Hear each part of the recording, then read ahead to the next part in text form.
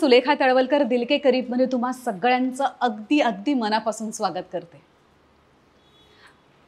मैत्री कधी कुठे कुणाबरोबर जुळेल हे काही सांगता येत नाही आपल्याला. आता हिचडी माझं बघा ना. इतकी वर्ष एकाच इंडस्ट्रीमध्ये काम करतोय. ओळख तर आहे. पण मैत्री अशी नव्हती. मैत्री आत्ता झाली. आम्ही एक नाटक एकत्र करायला लागलो तेव्हापासून. ज्याचं नाव आहे खरं खरं सांग. अगदी बरोबर ओळखलं. रुजुता देशमुख. चला तर मग स्वागत करूया रुजुताचं. रुजुता दिलके करीबमध्ये अगदी मनापासून स्वागत आहे. थँक्यू सॉरी साजिरी ना काय गो? नाही. साजिरीला बोलवलं होतं का रुजुताला? मी कन्फ्यूज झाले. आई कुठे आहे? मीच आई आहे. तू रुजुत आहेस. किती अभिनय केवढा तो. अगं पण म्हणजे पण तुम्ही किती सारख्या दिसता. हो असं म्हणतात बरं. आई मुलगी असून सुद्धा तू त्याच वयाची वाटतेस किंवा रादर ती तुझ्या वयाची वाटते. सगळ्यात आधी मला तुला विचारायचं आहे राज क्या है? बापरे. काही नाही हेल्दी खाणं व्यायाम करणं एवढंच. आणि आनंदी असणं. तुला माहिती मी किती हसते. हो हो हो हो, मला माहितीच आहे. बरं इतकी वर्ष आपण एकत्र एकाच इंडस्ट्रीमध्ये होतो पण अशी मैत्री कधी झाली नव्हती आपली? येस ती या नाटकाच्या निमित्ताने झाली त्या निमित्ताने तुझ्या या चॅनलवर मला यायला मिळालं Yes. आणि मी खरं तर दिलके करीबची फॅन आहे. सगळे एपिसोड जसे जमतील तसे Wow. तसे बघते. मागचे खूपसे राहिलेत माझे पण फार छान घेतेस तू खूप. गोड. आणि आता प्रेक्षक येतात तेही कौतुक करत असतात सुलेखाचं. त्यामुळे छान वाटतं मला. थँक्यू सो मच बरं दिलके करीबमध्ये अशी एक प्रथा आहे आपल्याकडे की आपण पाहुण्यांचं स्वागत गिफ्ट्सनी करतो. सो आधी मी तुला गिफ्ट्स देते आणि मग आपण गप्पांना सुरुवात करूया. येस सो हे दीप्ती कर्णिकनी तुला रेझिननी बनवलेले टी कोस्टर्स पाठवले हो. वाव नाईस ओ किती क्यूट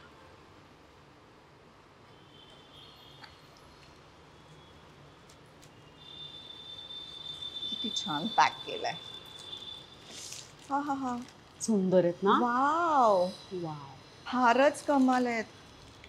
किती छान कला आहे ही. खरंच खूप सुरेख आहे. वा वा खूप आवडले. थँक्यू फारच छान आहे. श्रेया मराठेचा श्रेयाज क्रिएशन म्हणून एक ब्रँड आहे आणि तिने तुझ्यासाठी खूप सुंदर ज्वेलरी पाठवली आहे. वाव हा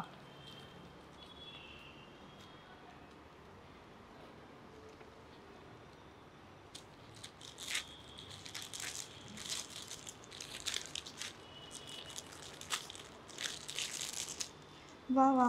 किती छान आहे हे. हा चोकर आहे हो वाटतं. चोकर आहे. आणि त्याच्यावर नथी सारखं डिझाईन आहे. हा. हे खूप गोड आहे. फारच गोड आहे. नाईस नाईस छान आहे. हे पण छान आहेत खणाचे आहेत. Wow. भयंकर आवडतात मला सुंदर. हे सुंदर. किती छान आहे. रेड इज माय फेवरेट या? खूपच छान आहे. गोड गोड.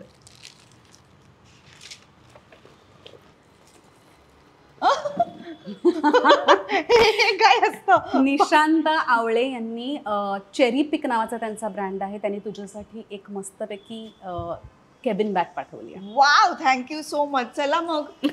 दौरे. आता सुरू होतील दौरा दिसा फारच कमाल. ह्या रंगाची बॅग नाही माझ्याकडे. त्यामुळे happy thank you welcome Vanashree संपतच नाहीये वाव वनश्री पांडेचं नयापण आहे. आणि तिने तुझ्यासाठी एक साडी पाठवली आहे. किती सुरेख रंग आहे. वाव आता ही नेसून पण आपण कार्यक्रमाला. खूप आवडली. Thank you thank you thank you so much हा. संपले येस सो ऋतुजा आपलं सॉरी रुजुता का तू असं केलं असशील तुला माहितीये माझं असं बरं तुला एवढा का राग आहे पण या गोष्टीचा? का म्हणजे? तुला कायम जर सुखेला असं म्हंटल तर चालेल का? मला चालेल. नाही मला. सगळे कोणी म्हणत मला नाही सगळे म्हणून सुरेखा म्हणतात. सुरेखा. म्हणतात पण. आणि एका एका पॉइंटला मी गिव्हअप केलंय. ठीक आहे. सुरेखा. मी गिव्हअप केलेलंच आहे. आता मला असं वाटतं की मी सही सुद्धा सुरेखा अशी करून टाकते. मला वाटतं ऋतुजा हे नाव खूप जास्ती प्रचलित आहे किंवा खूप. ठेवलं जातं ऋतुजा नाव. पण आता गेल्या काही वर्षात रुजुताही ठेवलं जातं. पण गृहित धरतात लोक. म्हणजे पूर्वी तर इव्हन लेखांमध्ये वगैरे सुद्धा जरी मी चार वेळा सांगितलं की ते रुजुता आहे हा हा, ऋषीतला रू आहे मग जू आहे हा तू नाही आहे हा तरी जो प्रिंट करतो जो टाईप करतो तो ठरवतो की. नाही नाही हे काय सांगतायत रुजुता हम्म. ऋतुजा असंच कायम पोस्टर्स होर्डिंग्स परवा तुला माहितीये मी हो, जाऊन हो, बालगंधर्वला फोटो काढून आणलाय हो, की हो. बालगंधर्व रंगमंदिर जिथे माझी नाटकाची सुरुवात झाली लहानपणापासून त्या- तिथे पण ऋतुजा लिहिलंय. मला एकदा काही प्रेक्षक दोन जण येऊन भेटले होते माझ्या सेल्फी नाटकाच्या वेळेला की आम्हा दोघांमध्ये बॅट लागलीये. तो म्हणतोय की रुजुता आणि मी म्हणतोय की ऋतुजा आणि मीच बरोबर आहे की नाही? असं तो म्हणणं. म्हणलं नाही तू चुकलायस. रुजुताच बरोबर आहे. बरं बरं बरं बरं त्यामुळे हे स्ट्रगल आहे जे चालूच आहे. म्हणजे आपण नाव कमवलंय वगैरे ह्यावर माझा विश्वास नाहीये. अजून खूप वेळ आहे मला. हो, आता आपण सगळ्यांना आज सांगूया की रुजुता देशमुख आणि जोशी पण लावतेस तू? नाही देशमुखच देशमुख. तर हा. सो माहेरचं देशमुख आणि सासरचं सासरचं Joshi. Joshi. Okay Rujuta. Thank you. बरं मला सांग तू अगदी लहानपणापासून काम करतेस म्हणजे तुझ्या वडिलांची नाट्यसंस्था आहे. आणि आता ती तुझा भाऊ आणि आई आई हो. अच्छा अच्छा अच्छा. सो तू कितव्या वर्षी कामाला सुरुवात केलीस? मी चौथीत होते. म्हणजे आठ नऊ वर्षांची असेल तेव्हापासून. आणि ऍक्सिडेंटली सुरुवात झाली. म्हणजे कशी? एकतर या आमच्याकडे म्हणजे देशमुखांकडे काही बॅकग्राऊंड नाहीये नाटकाचं पण. वडिलांपासूनच सुरुवात झाली. वडील बँकेत होते. त्यामुळे अगदी साधं खरं तर बँकर होते पण बँकेतल्या कॉम्पिटिशन्समध्ये भाग घेण्याला सुरुवात केली. मग ती आवड निर्माण झाली मग लाईट्स करायला लागले. असं बरंच काही काही पप्पांनी केलं. आणि मग आई पण त्यांना जॉईन झाली. असं करत करत प्रोफेशनल थिएटरकडे पप्पा वळले. मग सीमांत नावाची संस्था त्यांनी त्याची सुरुवात केली. आणि मला असं वाटतं मी पाच सहा वर्षांची असल्यापासून हे सगळं माझ्या आजूबाजूला चालू होतं. आणि रायगडाला जेव्हा जाग येते हे नाटक करायचं असं ठरलं. हा. त्यामुळे पप्पा माझे शिवाजी महाराजांचा कॅरेक्टर करत होते आणि मोहन जोशी संभाजी करायचे. तर आजूबाजूला रिहर्सल चालू आहे आणि मी आपले डुडू इकडून तिकडे पळतीये. माझं हळूहळू पाठ व्हायला आलं होतं नाटक. हा. आणि अचानक एक दिवस असं झालं की राजारामाची भूमिका छोटा राजाराम आहे त्याची भूमिका करणाऱ्या मुलाची परीक्षा होती. आणि माझे वडील म्हणजे दौरे त्या काळात खूप दौरे व्हायचे म्हणजे. महाराष्ट्रभर फिरलीये फिरलंय हे नाटक. आणि अजूनही फिरतो. त्यामुळे खूप मोठा दौरा होता दहा बारा दिवसांचा. आणि त्या मुलाच्या आईने अचानक सांगितलं की नाही परीक्षा आहे मध्ये तर नाहीच काही करू शकत आम्ही. शक्यच नाही तेव्हा मोहन काकांनी पप्पांना असं सांगितलं की ही चिमुरडी इकडून तिकडे फिरत असते हिला पाठ आहे. हिला उभं करा. असं म्हणून पप्पांनी दोन दिवसात माझ्याकडनं म्हणून घेतलं काय चुकीचं आहे थोडस बोबडं होतं वसंत कानेटकरांची भाषा त्यामुळे तशी ती सोपी भाषा नाही ऐतिहासिक नाटक म्हणजे सोपं नाही. पण माझं वय असं होतं की हे अवघड आहे असं मला काही नाही. कळायचंच. नाही फक्त असं होतं की इमोट कसं करायचं कारण राजारामाचं शेवटचा सीन अतिशय महत्त्वाचा आहे ज्यांनी प्रेक्षकांना रडवलंच पाहिजे तर तो. सीन अंगावर येतो. महाराज गेल्यानंतर संभाजी राजे आणि राजाराम राजे यांच्यातला तो सीन आहे. तर ते सगळं माझ्याकडनं एका दिवसात पप्पांनी करून घेतलं की. व्हॉइस मॉड्युलेशन कसं. हवं तुला कसं आतून रडू आलं पाहिजे अर्थ काही कळत नाही. कसं आतून हा, पण व्हॉइस मॉड्युलेशन वर मी मारून नेलं. आणि दोन दिवसात मी कराडला जाऊन पहिला प्रयोग केला. आणि फारच लोकांना आवडला. त्यामुळे प्रत्येक प्रयोगाला कोणीतरी आजोबा येऊन दहाच रुपये दे कोणीतरी दे गोड ह्याचा मला आनंद की मला प्रयोग झाल्यावर काहीतरी मिळतं. त्यामुळे तेव्हापासून मी सुरुवात झाली. असं म्हणेन हम्म. नाटकात काम. करायला. आणि मला वाटतं राजाराम म्हणून मी पाचशे पेक्षा जास्ती प्रयोग केले असतील म्हणजे मी जर चौथीत सुरू केलं तर मी नववी पर्यंत मी राजाराम करत होते आणि मग त्याच नाटकात मी मग गॅप घेतली एक तीन चार वर्षांची पण कॉलेजमध्ये गेल्यावर मग त्याच नाटकात मी यसुबाई केली. अच्छा. मग यसुबाई करत करत अनेक वर्ष यसुबाई करत होते. वा वा मस्त मस्त. आणि तुझं शिक्षण सुद्धा साईड बाय साईड चालू हो होतं हो. तू म्हणजे तुझं एज्युकेशन कशात एस? पी कॉलेज मधून बी ए केलंय बी. इन इंग्लिश पण बी ए हे असं आपलं साईड बाय साईड करायचं असतं म्हणून केलेलं आहे. पण नाटकांमधून कॉलेजमध्ये बॅकस्टेज करणं हे ऑन करणं. आणि खरं तर मला असं वाटतं की घरात ही आमचीच संस्था असल्यामुळे. शिकवण अशी होती की पडेल ते काम करायचं. त्यामुळे जरी मी राजारामापासून सुरुवात केली असेल तरी त्यावेळेला दुसरी नाटकं पण चालू होती. अशी पाखरे येते केलं पप्पानी. अजून पण दोन तीन नाटकं केली. तर मग कुठेतरी म्युझिक वाजवणं कधी स्टेजची चादर घालणं कधी लाइट ऑपरेट करणं आणि तेव्हा ते डिमर असे ते मोठे होते. ते ऑपरेट करणं असे. अनेक उद्योग केले त्यामुळे ते जे रुजलंय ना मनात हो. की काहीही कशातच कमीपणा. नाहीये कुठलंच काम करण्यात हे तिथून सुरुवात झाली त्यामुळे मला नेहमी असं वाटतं की थिएटर हे माझं माहेर असल्यासारखं वाटतं खूप गोष्टी हो मी आत्ता. तेच म्हणणार होते अगं की आत्ता खरं खरं सांगच्या निमित्ताने काही इंटरव्ह्यूज जेव्हा झाले तेव्हा मी ऐकत असते तुझे सगळे इंटरव्ह्यूज तर त्यात तू म्हणली होतीस की खरं तर म्हणजे दोन वर्षानंतर हो. थिएटर्स आता सुरू झाली आहेत आणि शंभर टक्के कपॅसिटीने सुरू झालेत आणि थिएटर हे माझं माहेर आहे. मराठी रंगभूमी हे माझं माहेर आहे. आत्ता मला ते सगळं रिलेट होत आहे टोटली म्हणजे सुरुवात स्टेजपासून झाली आणि त्याच्यावरच सगळं मी करून बघितलंय आता टेक्निकली खूप वेगळ्या गोष्टी सुरू झाल्यात ज्याही मला करायला आवडतील पण अजून मला तसं स्कोप नाही मिळाला की मी जाऊन म्हणजे मला पिठात जाऊन बसायला म्युझिक वाजवायला पण आवडतं हा. म्हणजे तेव्हा कॅसेट्स होत्या हा, हा, हा. त्यामुळे ते कॅसेट्स त्या पेन्सिलीने हो, फिरवणं हो, हो, मग हो, ए साइड हो. मग बी साइड आता खूप सोपं त्या मनाने करेक्ट त्यामध्ये. सोपं मला माहीत नाही पण हे सगळे उद्योग केलेले आहेत. वा वा वा. मस्त. रुजुता बाल कलाकार म्हणून तू खूप वर्ष काम केलंस. त्या वेळच्या काही अशा पर्टिक्युलर दिलके करीब आठवणी आहेत का? हो नाटकाच्या दरम्यानच्या खूप आहेत. त्याच्यानंतर मी तीन फिल्म्स केल्या. ते. सुद्धा मोहन काकांमुळेच खरं तर. त्यांनी माझं काम बघितल्यामुळे त्यांनी फिल्मच्या इथेही माझं नाव सजेस्ट केलं. त्यामुळे नशीबवान म्हणा एक गाडी बाकी अनाडी धुमाकूळ असं म्हणजे अलकाताई अलका कुबल यांचं लहानपण हा. प्रिया ताईचं लहानपण अशाही फिल्म्स केल्या. त्यामुळे तेव्हा लहानपणी उठून कोल्हापूरला जायचं शूटिंग करायचं ही. फार मज्जा वाटायची की. किती छान आहे. आणि नाटकातल्या आठवणी ऍक्च्युली गमतीशीर आठवणी खूप आहेत. एकदा मी म्हणजे ही घरचीच आठवण सांगते. जसं मी आता म्हटलं की मी टेपऱ्या होते आपण ज्याला टेपऱ्या म्हणतो म्युझिक ऑपरेटरला आपण. तर मी टेपऱ्या होते. आणि घरी काहीतरी कॅसेट आली होती आणि ती कॅसेट वडील ऐकत होते आणि त्याच्यानंतर ते कुठेतरी कामाला गेले आणि मी आगाऊपणा लहान होते तर एवढं खरं तर कळणार नव्हतं पण आगाऊपणा मी. आले आणि काय ऐकतायत म्हणून मी प्ले आणि रेकॉर्डचं बटन दाबलं. आणि ते जे होतं ते सगळं ब्लँक झालं. जे रेकॉर्ड केलेलं होतं रवी साठ्यांचं गाणं होतं आणि मी ते केलं आणि काहीच ऐकू येत नाही म्हणून स्टॉप केलं. तो तो एक तेवढा भाग गेला ज्याच्यासाठी स्टुडिओ घेऊन वगैरे वडिलांनी खर्च करून.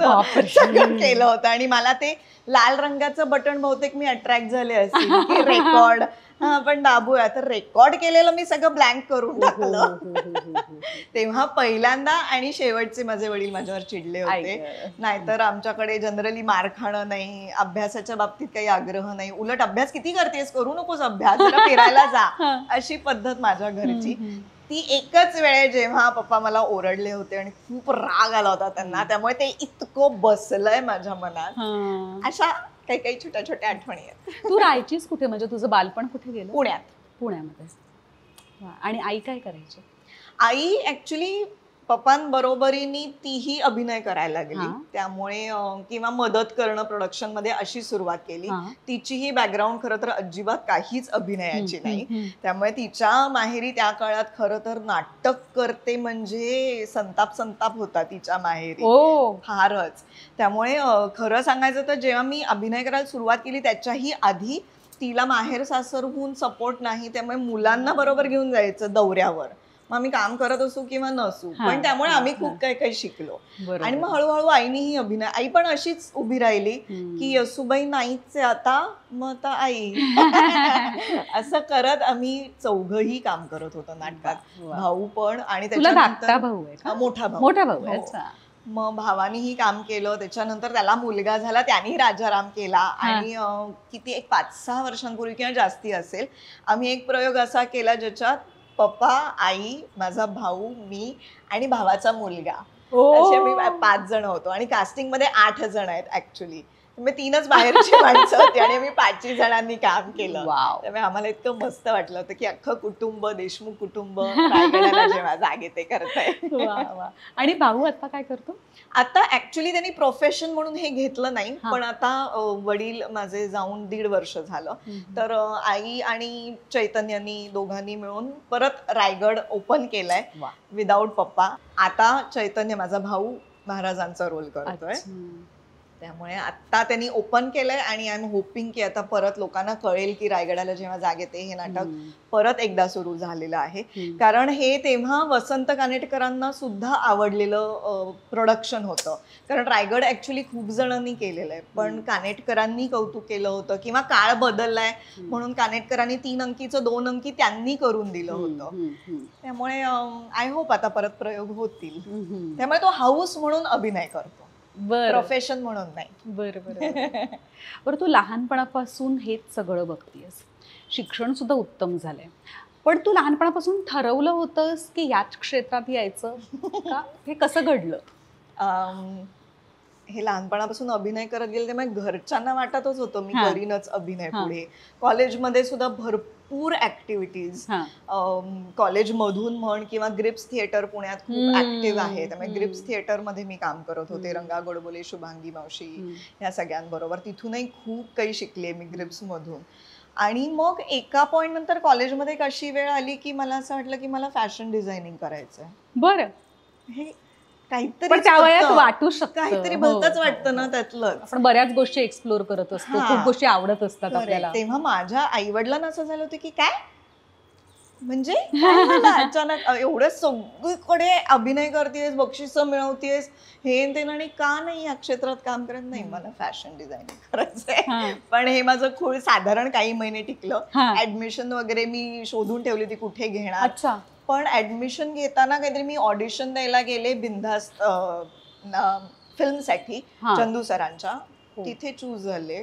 मग मी बिंदास्त मध्ये होते. म्हणजे आम्ही अनेक मुली होतो मेन कॅरेक्टर नव्हतं मैत्रिणी मैत्रिणी असं. मग परत म्हणजे ब्लॉकबस्टर फिल्म हा, होती हो हो. खूप जणी होतो त्यामुळे मला असं काही कळायच्यात अच्छा बिंदास अच्छा हे झालं. असं करत करत ते राहिलं माझं खूळ बाजूला. आणि ग्रॅज्युएशन व्हायच्या आधीच अभिनेत्री नाटकासाठी मी ऑडिशन दिली होती विनय आपट्यांकडे विनय काकांकडे. पण जेव्हा मी पहिल्यांदा ऑडिशन दिली तेव्हा विनय काकांना आवडलं त्या माझा आवाजाची पोत थोडी वेगळी आहे हो. त्यामुळे विनय काका म्हणाले "अं, तुझा आवाज जरा वेगळा आहे आपण या वेळेला नको करूया हा, असं. म्हणून मी बरं असं म्हणून परत पुण्याला गेले. आणि मग सोनाली पंडितनी तो रोल केला. आणि नंतर सोनालीनी अजून एक नाटक सुरू केलं तेव्हा परत विनय काकांनी मला बोलवलं की. आता तू अभिनेत्री करशील का असं. आणि त्या निमित्ताने ग्रॅज्युएशन व्हायच्या आधीच मला मुंबईतलं प्रोफेशनल नाटक मिळालं मला काही कळायच्यात माझं हे प्रोफेशन ठरलेलं. ठरलं. पण तुला दुसरं काय करायची इच्छा होती का त्यावेळेला? इन द सेन्स काय की आत्ता डू यू रिग्रेट का तुला छान आता? happy. आणि आता असं वाटतं की फॉलबॅक प्लॅन काहीतरी हवा होता तर मला काय येतं दुसरं. काहीच नाही येत. पण तुला- काहीतरी येऊ तू ठरवलंस तर तुला काहीही येऊ शकतं. मी एकंदरीतच तुझा जो अप्रोच बघतीये म्हणजे मी तुम्हाला सांगते की काहीही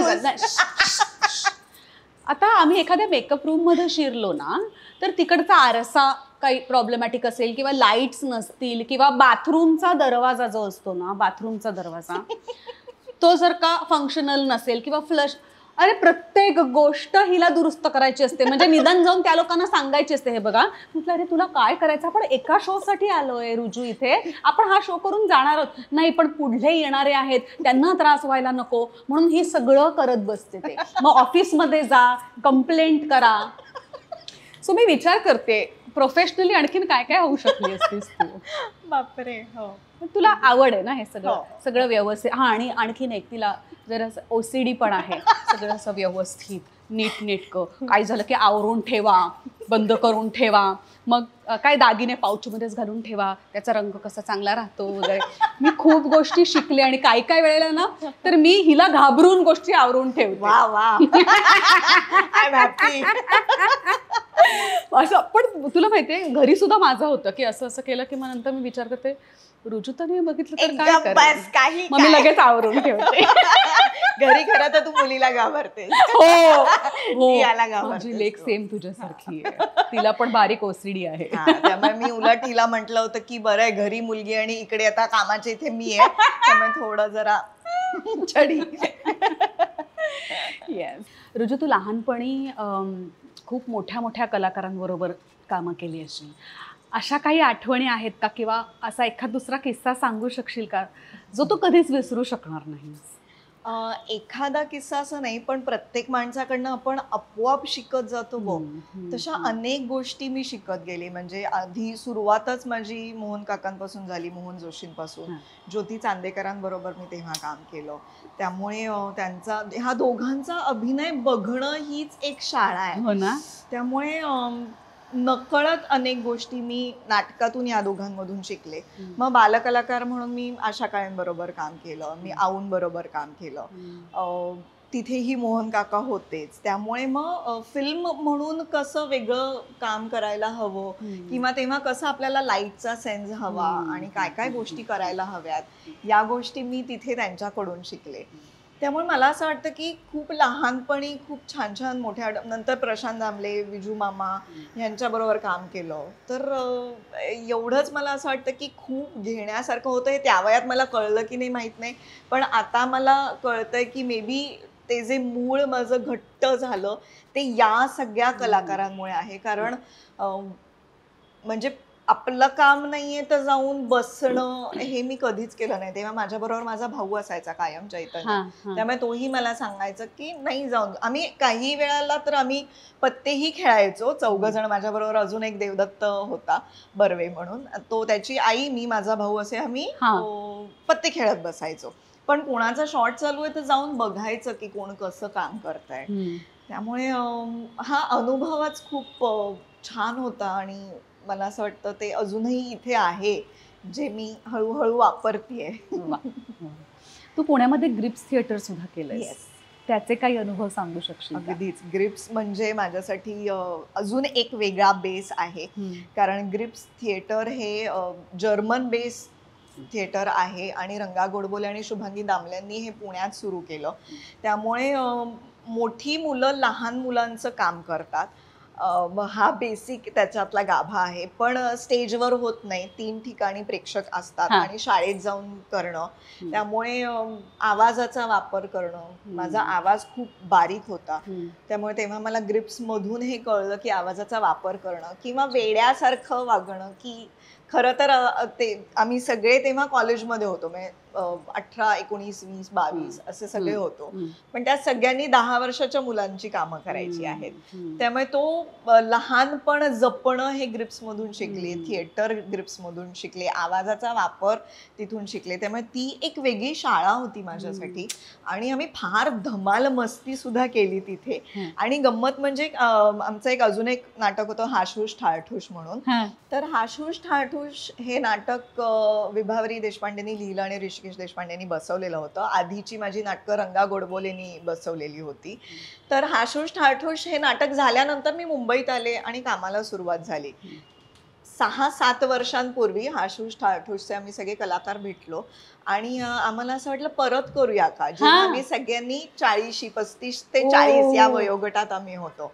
परत एकदा आठ ते दहा वर्षांच्या मुलांची कामं केली. त्यामुळे आमच्यासाठी फारच धमाल आली आम्हाला.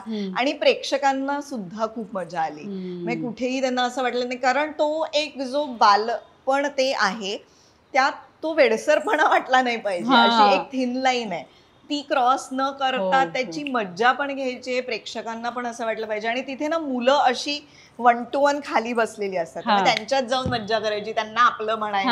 आणि खूप मज्जा मस्ती गाणी धमाल नाच असं. खूप ग्रिप्समध्ये असतं. त्यामुळे उलट पुण्याच्या कलाकारांना ग्रिप्स ही एक मेजवानी आहे असं मला वाटतं. प्रत्येक कलाकाराने ते वर्कशॉप करावं.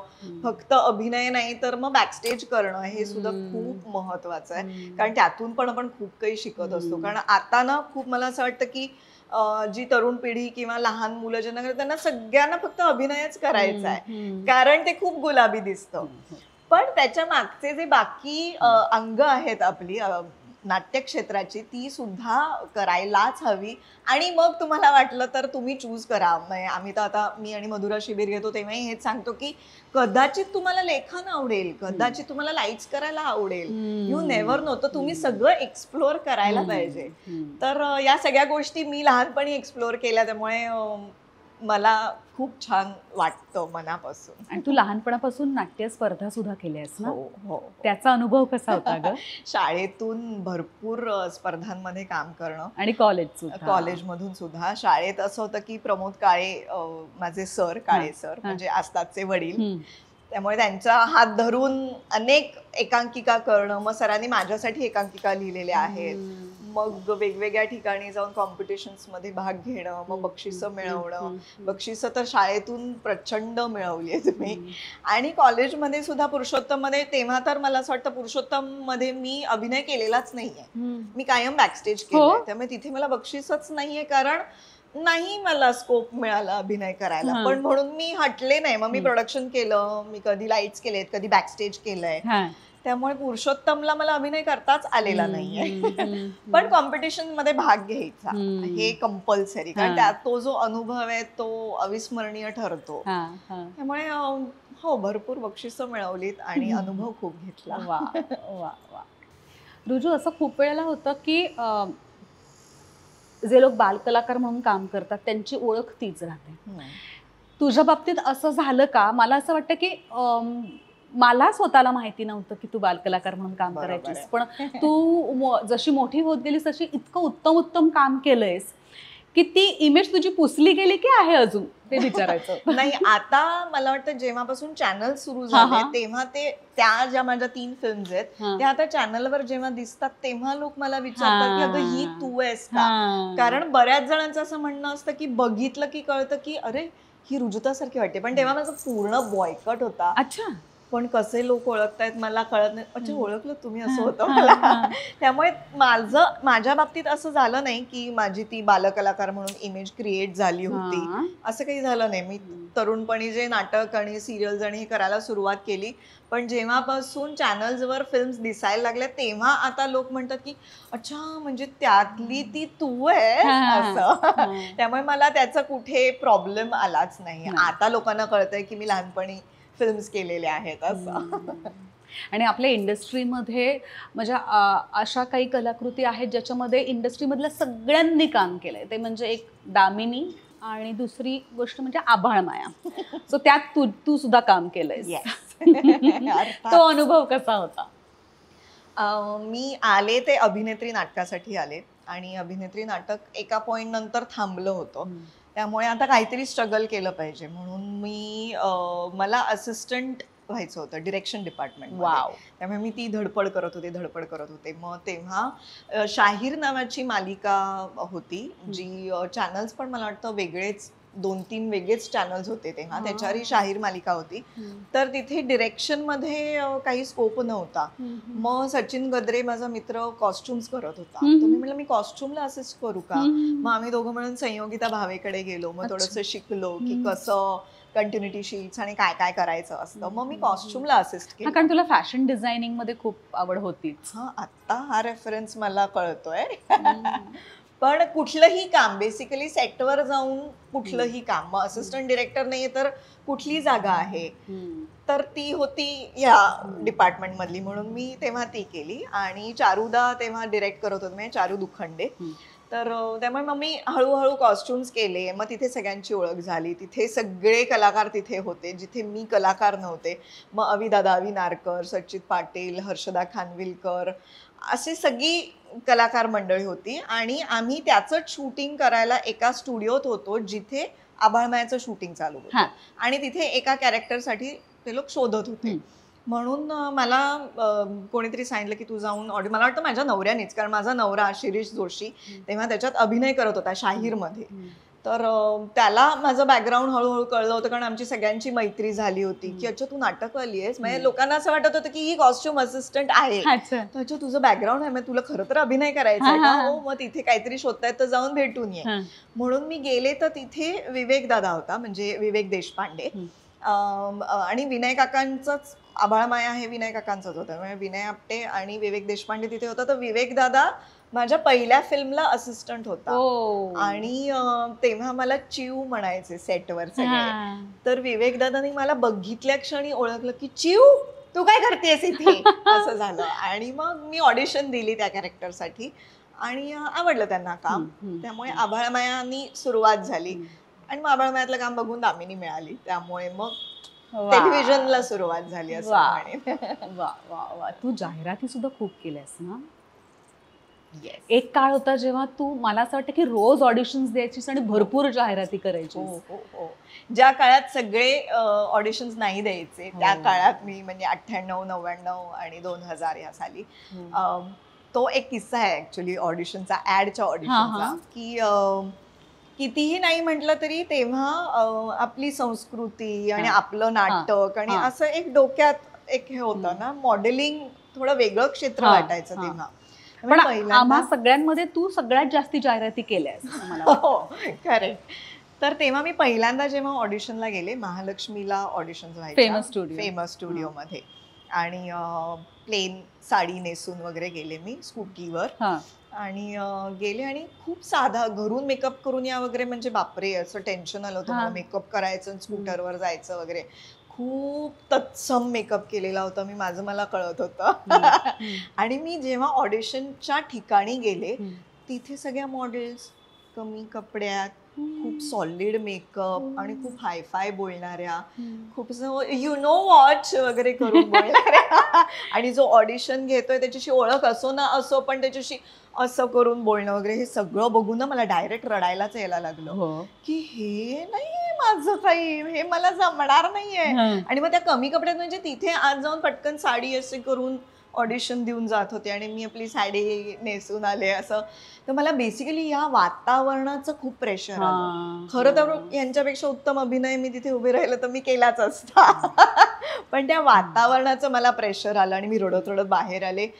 शिरीषला फोन केला आणि बूथवरून त्याच्या बँकेत वगैरे फोन करून त्याला त्याला वाटलं काय झालं? त्याला पण टेन्शन आलं की ही रडतीये का? काय झालं हिला.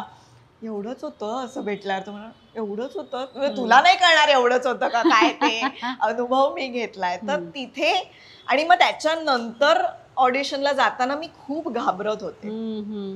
पण त्याच ब्रँडसाठी डीबियर्स ब्रँड होता त्या ब्रँडसाठी त्यांनी परत मला ऑडिशनसाठी बोलवलं.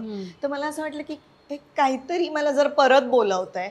मी माझ्या डोक्यातून काढून टाकलं होतं की हे मला नाही जमणार आहे तर मी हे नाही करणार आहे. कारण मला भीती वाटते. पण त्याच ब्रँडसाठी परत ऑडिशनला बोलवलंय हे मला असं वाटलं की हे काहीतरी मला संकेत आहे आणि मी जायला पाहिजे. हम्म. मी गेले मी ऑडिशन दिली मी चूज झाले आणि मी ती ऍड पहिली केली. आणि मग मला त्याची गंमत कळली की खरं तर आपण उत्तम अभिनय करतो या वातावरणाला आपण घाबरतोय. त्यामुळे जे मॉडेल्स ते त्या काळात ज्या मॉडेल्स होत्या त्यांना त्यांचा आणि अभिनयाचा काहीच गंध त्यांना नव्हता आणि आपण उगाच प्रेशर घेतो त्यांच्या. सौंदर्याचं. तर हे मी मनात पक्क केलं की आता ऑडिशन्स द्यायच्या आणि मी सलग ऑडिशन्स देत सुटले त्यामुळे या क्षेत्रात आपण आता आता कसं नाही होत हा, व्हायलाच पाहिजे असं म्हणून. मी खूप ऑडिशन्स दिल्या. आणि हो त्या काळात भरपूर ऍड्स केल्या आणि. चांगल्या ब्रँड्सच्याही केल्या हो. की कुरकुरे केली मी त्याच्यानंतर क्रॅक क्रीम केली मग डायमंडची केली आणि मग ऍडसाठी मी परदेशात वगैरे पण जाऊन ऍड्स करून यायचे. त्यामुळे तो एक काळ होता जो. आणि अजूनही मी ऑडिशन्स देते म्हणजे. मस्त. आता माझ्या दृष्टीने हिशोब असा असतो की एक प्रोजेक्ट टू सेकंड प्रोजेक्ट जी गॅप असते आपल्याकडे. त्याच्यात ऍडच्या ऑडिशन्स देत राहायच्या. मस्त मस्त. बरं मला सांग तुला शिरीष कुठे भेटला? शाहीर नावाच्या मालिकेत. जिथे तो अभिनय करत होता. आणि मी कॉस्ट्युम असिस्टंट होते. सो तिथे आमच्या सगळ्यांचीच खूप मैत्री झाली. आणि आम्ही वाईला शूटिंग करायचो. त्यामुळे आउटडोअरला ऑब्व्हियसली खूप जास्ती कनेक्ट होतं बघ. तसंच आमच्या सगळ्यांची मैत्री खूप झाली. मग मुंबईत आल्यावर आम्ही भेटायला लागलो सगळे. मग आम्ही दोघंच भेटायला. त्यामुळे असं दोघं दोघंच भेटणं वाढत गेलं. परळी सी फेसला जाणं वाढत गेलं. असं करत प्रेमात पडलो आणि फार पटकन लग्न केलं आम्ही. बरं. बरं बरं बरं बरं. मस्त. आणि आता साजिरी किती वर्षाची आहे ग? साजरी आता अठरा झाली. आता. एकोणीस होईल. ती पण काम सुंदर करते ना? आत्ता आपण तिच्याबद्दल बोलत हो, होतो. हो. ती काय करते आता साजिरी आता एफ वाय बी ए ला आहे. एफ वाय बी रुईयाला ती आताच जॉईन झाली. याच्या आधी शाळेत जेबी वच्छाला होती. जिथे कल्चर थोडस वेगळं होतं. त्यामुळे मला खूप जीव वर खाली व्हायचा की मला जे शाळेतून नाटक करायला मिळालं ते हो. माझ्या मुलीला नाही मिळत आहे. त्यामुळे तिला ते शाळेतून करायला नाही मिळालं. पण मग कॉलेजमध्ये तिने आणि तिला तिचं नक्की नव्हतं की तिला काय करायचंय? अजूनही मे बी नक्की नसेल. आणि ती खूप म्हणजे पाच वर्षांची असल्यापासून सोनिया परचुरे यांच्याकडे नृत्य शिकते कथक नृत्य. आणि त्याची प्रचंड आवड आहे वा आणि सोनिया माझीही गुरु आहे आणि माझी मैत्रीणही आहे. त्यामुळे सोनियाची लाडकी स्टुडंट आहे ती. कारण. सोनिया असं तिचा कुठे भेदभाव नसतो की मैत्रिणीची मुलगी किंवा.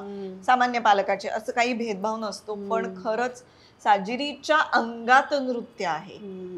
लक्षात राहणं म्हण. किंवा पण म्हणजे आता गेली पाच वर्षांची असल्यापासून ती शिकतीये तर फार छान नाचते साजिरी त्यामुळे तिला असं अजून नक्की नाहीये की तिला अभिनय करायचा आहे का तिला नृत्यात काही करायचं आहे का ती ती छान लिहिते पण? साजिरी इंग्लिश हो सो माहीत नाही. आहेत कला अंगात. काय ती एक्सप्लोअर करेल माहीत नाही. आता रुईयामध्ये आहे. तर रुईयात नाट्यवलयमध्ये सुद्धा ती ऍक्टिव्ह आहे. आणि मला खरं कौतुक वाटतं की नाट्यवलयविषयी खूप जणांकडनं ऐकलंय कारण विनय. काकांपासून सगळे आपल्यापैकी अनेक कलाकार. हो ना त्यामुळे अजूनही त्यांनी ती कला जोपासली आहे. त्यांचे टीचर्स सपोर्ट हो, करतात हो. आणि अजूनही आत्ता आता या वर्षी आता पॅन्डेमिक नंतर कॉम्पिटिशन नाहीतच त्यामुळे. भाग नाही घेऊ शकले. पण सगळे चाळीस पन्नास मुलं मिळून शिबिर चालू असतं. आपापलं नाटक बसवत असतात. ग्रुपनी बसवायचं तर सगळं लाईट्सपासून म्युझिकपासून कॉस्ट्युमपासून सगळं मुलांनी करायचं. त्यामुळे आता मला असं वाटतं की हा हे जे मला लहानपणी मिळालं ते आता साजरीला मिळतंय. त्यामुळे आता तिथे एन्जॉय करते ती. प्रोसेस मस्त मस्त मस्त पण आपल्या सर्कलमध्ये अनेक जणांकडून मी असं ऐकलंय की ती खूप भारी ऍक्ट्रेस आहे आणि त्या वयात तिला अभिनयाची जाण खूप छान आहे हम्म. आणि- काय होतंय. नाही आणि गंमत अशी आहे की तुम्ही दोघी मिळून खूप प्रोजेक्ट एकत्र करू शकाल. काय की तिच्या तारखा नसतील तर तू तो रोल करशील त्या दिवशी. खूप चिडवलं हो जातं ना? मला की साजरीला पाठव ना. मग म्हणजे आता सुद्धा नाटकामध्ये साजरी करू शकेल एखादी तू तू अवेलेबल. आधीच आपल्याकडे कामं कमी आहेत आता ती मुलांनी घेतली तर काय करायचं म्हणजे आपण आता रिसेंटली तिने अं, मनसुद्ध तुझं म्हणून जी सिरीज चालू होती.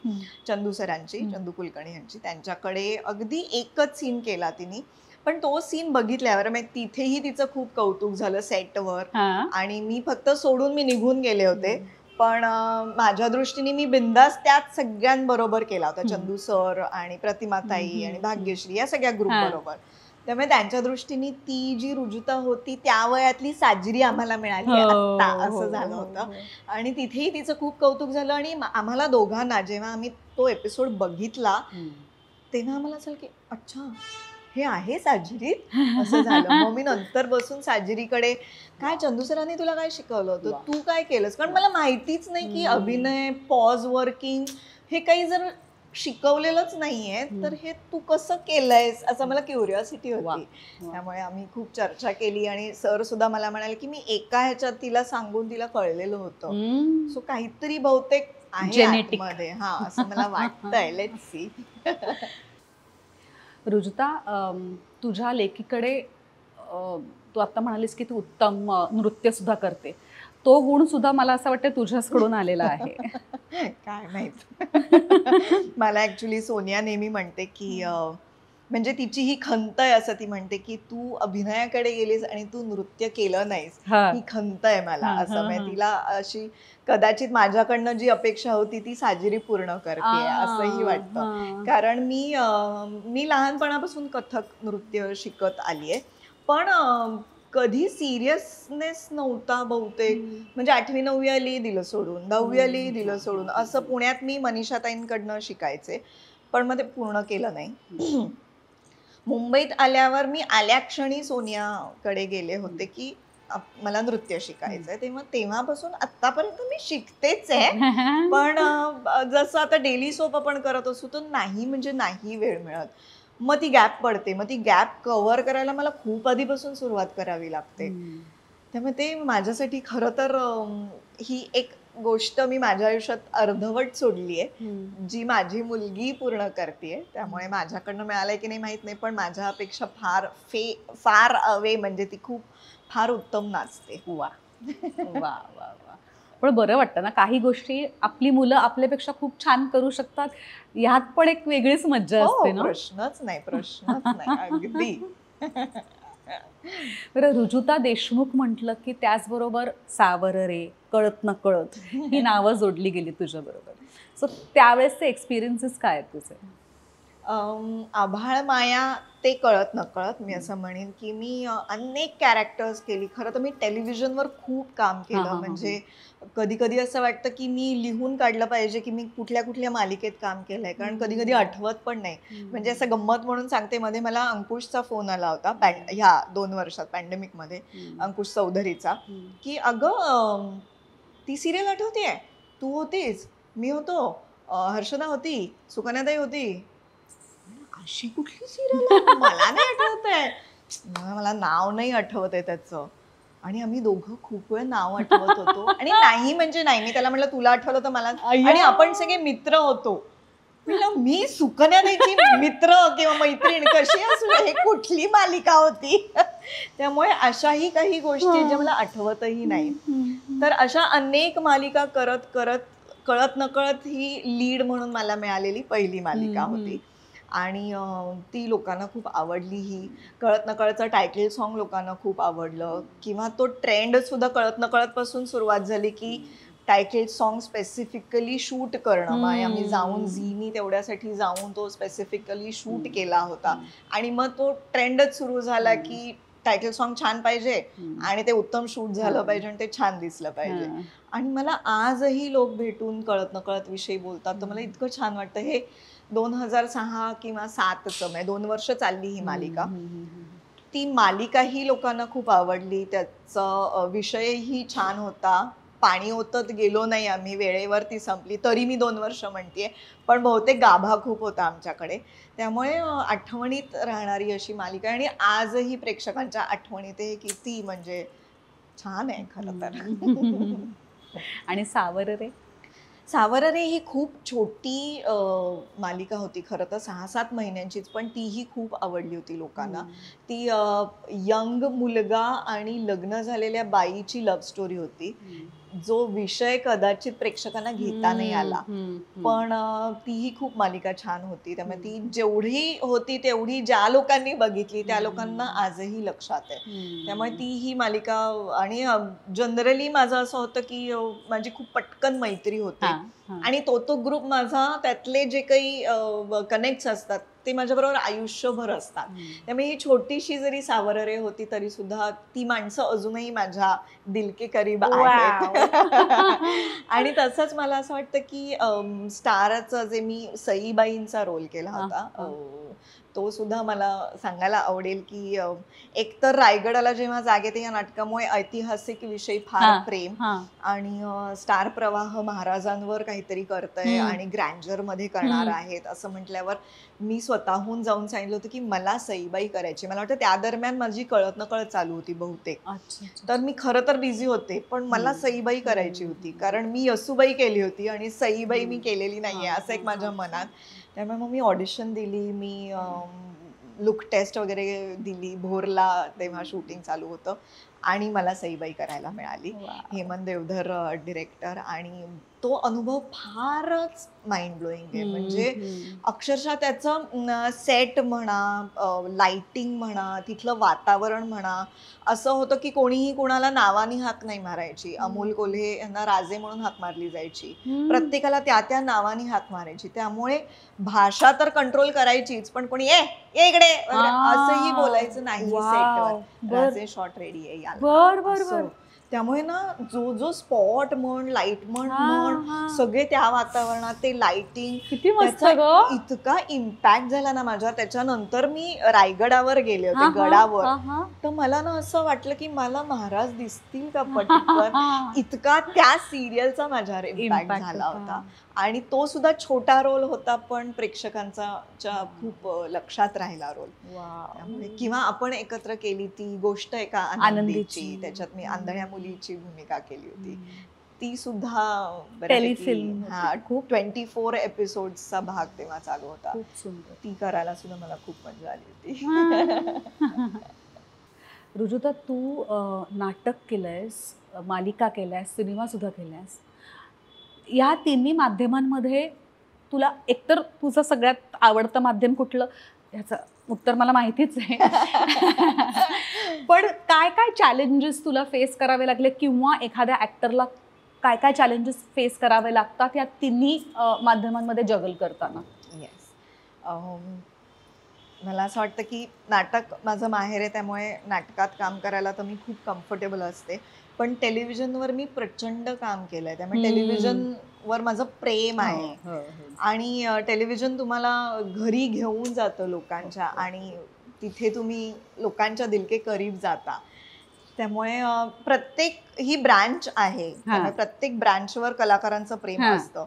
नाटकात मला असं वाटतं की वन टू वन प्रेक्षकांचा तुम्हाला डायरेक्ट रिस्पॉन्स मिळतो हा सुखकर अनुभव असतो.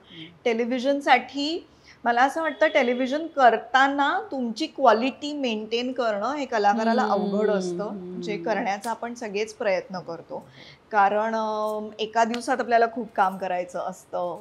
पाठांतराला वेळ नसतो प्री वर्कला शून्य वेळ असतो. तरी सुद्धा आपली क्वालिटी मेंटेन करणं म्हणजे हे एक स्ट्रगल आहे आणि हे आता अनुभवानी आप- आपल्याला आलेलं आहे असं मला वाटतं. तर त्याचा मला वाटतं डोक्यात त्याची हवा न घालून घेता. अजूनही जमिनीवर राहून. तितकंच आपण अजूनही स्ट्रगल करतोय हे डोक्यात ठेवलं तर तुम्ही तुमची जी क्वालिटी आहे ती प्रेक्षकांपर्यंत मला- पोहोचवता. मला असं वाटतं की आपली जी पिढी आहे ना तिने खूप अप्स अँड डाऊन्स बघितलेत आणि म्हणून कदाचित खूप ग्राउंडेड आहोत आपण. करेक्ट नवीन जी मुलं येतात ती ना ह्या ग्लॅमरला खूपच म्हणजे खूप भारावून जातात आणि. त्यांना असं वाटतं की प्रॉबेबली आता त्यांनी जो पीक तो बघता ते तसंच राहणार आहे पण तसं नसतं.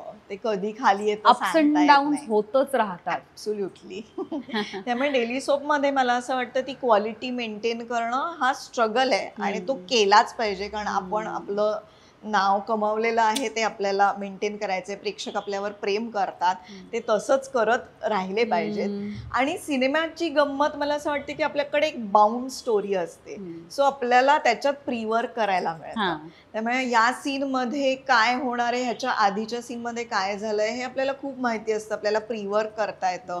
किंवा डबिंगची सुद्धा एक वेगळी मजा आहे. मला खूप आवडतं डबिंग करायला. आणि लहानपणी सुद्धा ऍक्च्युली माझं खूप कौतुक व्हायचं की इतक्या पटकन कसं तू केलंस डबिंग हा. तर मला डबिंग करायलाही आवडतं आणि मग फिल्म करताना आपल्याला ते लक्षात ठेवायला लागतं की डबिंग करायचं आहे हा आपल्यालाच आणि. आपल्यालाच ते जमलं पाहिजे. तसाच अभिनय आपण केला पाहिजे टाईप्स हा.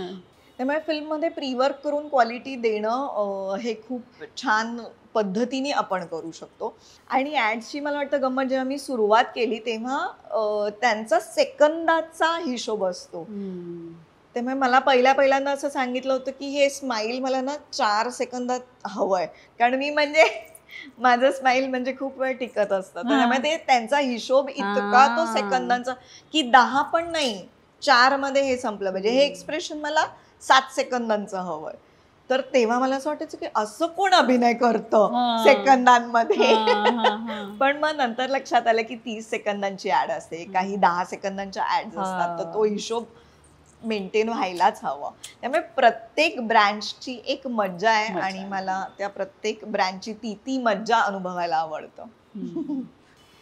तू या सगळ्या बरोबर हिंदी मालिका सुद्धा केल्यास तू काय काय केलंयस रुजुता असं ऍक्च्युली शिरीष मला कधीतरी हो म्हणतो. अगं तू केवढं काम केलंय? खरं तर. मज्जा वाटते पण. तो एक्सपिरियन्स कसा होता का आणि मराठी आणि हिंदी मधला तुला काय फरक जाणवला?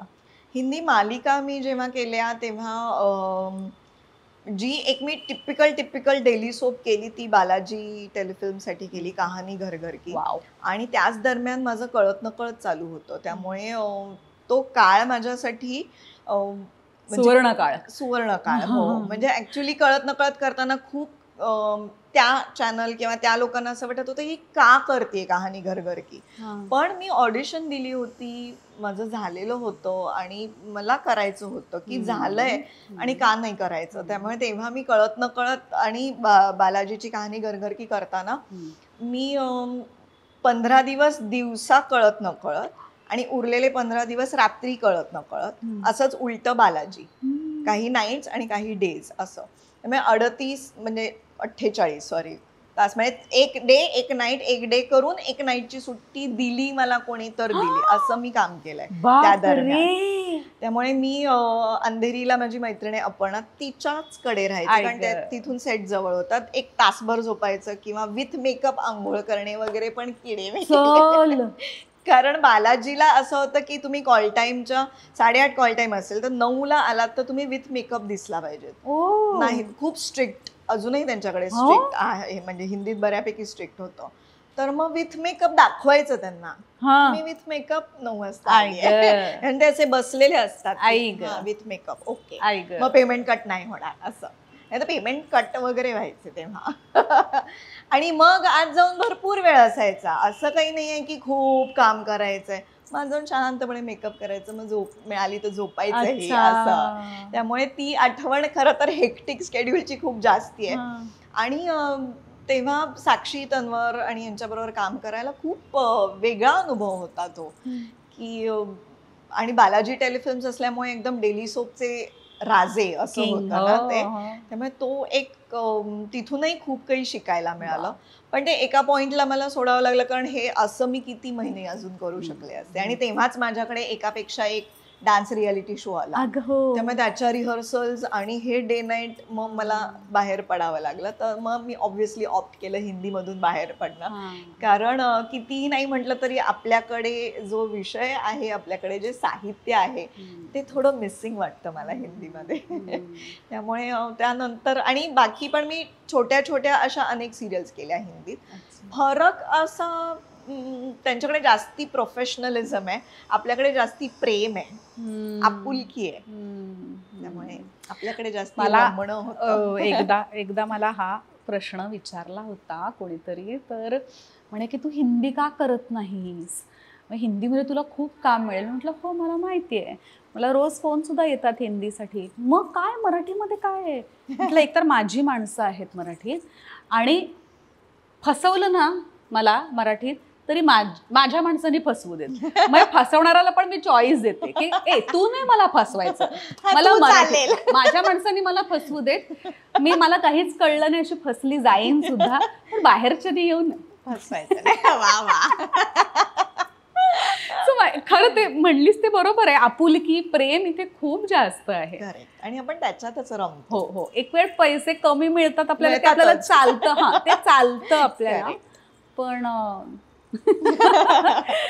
एकनिष्ठ होतं पण मराठी अगदीच. बरं त्यानंतर अमिताभ बच्चन नागार्जुना हे कसं घडलं? अम, अमिताभ बच्चन यांच्याबरोबर मी फॅमिली नावाचा चित्रपट केला. आणि ऍक्च्युली दिग्दर्शक पण राजकुमार संतोषी दिग्दर्शक होते. त्यामुळे ती फिल्म फिल्म म्हणून खूप चालली नाही. काही प्रॅक्टिकल गोष्टींच्या कारणाने. पण माझ्यासाठी फार दैवी अनुभव? बच्चन साहेबांच्या सुनेचा रोल मी केलेला. होता. आणि त्यांच्या बरोबर काम करणं त्यांच्या बरोबर सीन्स करणं मग ते काय करतात कसं काम करतात? एका आम्ही नाईट्स करत होतो आणि माझा असं मी ऐकलं की डे मध्ये ते ॲडचं शूट करून आलेत. आम्ही नाईट्स करतो आणि खूप मेजर सिक्वेन्स रडारडी आणि हॉन त्योन आणि मला असं वाटलं की लाइटिंग चालू आहे. बरं तर हिंदी बॉलिवूड फिल्मचं लाइटिंग ह्याला बऱ्यापैकी. वेळ घेतात. तर मला असं वाटलं बच्चन साहेब आज जाऊन थोडंसं झोपून काय येत नाही आहेत. पण ते त्यांच्या त्या चार प्लास्टिकच्या खुर्च्यांवर असे बसलेले असायचे. मला असं वाटतं की काय माणूस आहे हा? आणि आपण जे एरवी वाचलेलं असतं त्यांच्याविषयी वेळेवर येतात शिस्तीत वागतात सगळं व्यवस्थित चालू हे मला असं डोळ्यांनी बघायला मिळालं. आणि मला गंमत अशी वाटली की मी जेव्हा सुरुवात केली माझ्या वाढदिवसाच्या दिवशी मी त्यांच्याबरोबर पहिला दिवस केला. आणि तो पहिला दिवस पहिला शॉट त्यांना नमस्कार करणं हा शॉट होता. की सून येते आणि सासऱ्यांना नमस्कार करते.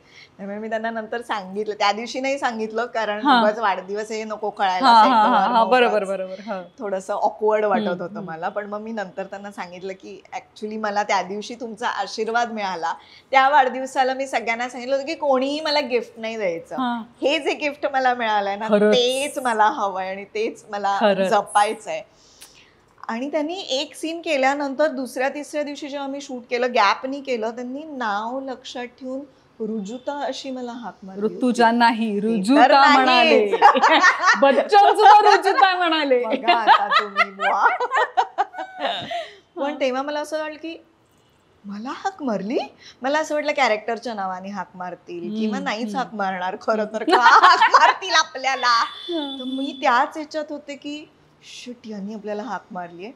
पण दुसरं मला असं नेहमी म्हणजे मित्रमैत्रिणी मला तेव्हा खूप असं विचारलं होतं की प्रेशर नाही का आलं तुला त्यांच्याबरोबर काम करायला. पण समहाव ना मी इथून थोडीशी खूप शांत आहे. त्यामुळे मला असं मी हायपर होत नाही सॉर्टेड आहेस. हा असं मला वाटतं. त्यामुळे साहेबांबरोबर काम करायचंय म्हणून प्रेशर घेऊन मी माझं काम वाईट केलं किंवा असं काही झालं नाही. त्यामुळे छान मी माझंही काम छान केलं आणि त्यांचंही शिकले. असं बच्चन साहेबांबरोबर. आणि दुसरी मी एक तेलुगू फिल्म केली ती नागार्जुना यांच्याबरोबर शिर्डी साई नावाची फिल्म होती. साईबाबांवर फिल्म होती. त्यामुळे खरं तर त्यांनी महाराष्ट्रातून ऑडिशन्स घेतलेल्या. होत्या.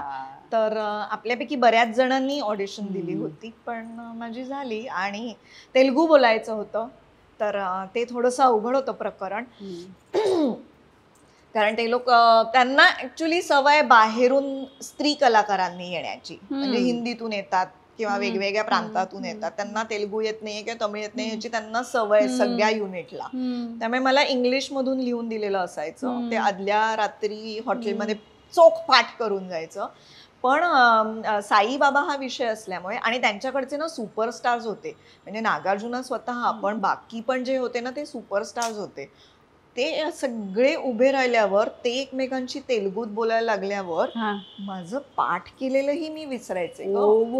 की मी काय पाठ केलं होतं?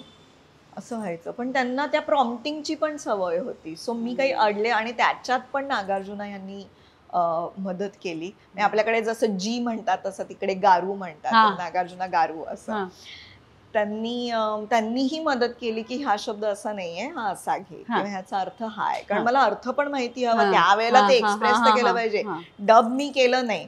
पण आपल्याला ते पण असतं ना चुकीचं. शब्द तोंडातून जातोय आणि. डोळ्यात वेगळं दिसतंय असं नको. पण त्या अख्ख्या युनिटनी खूप मदत केली त्यांच्याकडे तर प्रचंड शिस्त आहे पाच वाजता बॅकअप संध्याकाळी. सकाळी सहा वाजता यायचं पाच वाजता बॅकअप त्यामुळे वेगळ्याच इंडस्ट्रीत जाऊन वेगळाच अनुभव घेऊन आले मी आणि पुन्हा एकदा तेलुगू सुपरस्टार बरोबर. त्यामुळे लक्षात राहील असा अनुभव. मस्त. क्लास रुरुता खूप धमाल आली. मस्त. आणि इतके दिवस आपण म्हणजे आपली ओळख झाली मैत्री झाली पण एवढ्या गप्पा नव्हत्या. हो. तू मला इन्व्हाइट केल्यामुळे एवढ्या गप्पा झाल्या त्यामुळे तुझे आभार. थँक्यू सो मच पण खरंच खूप बरं वाटलं. थँक्यू रुजुता. येस आली मला. आणि तुम्ही सगळेजण ऑलवेज राहा. दिल के करीब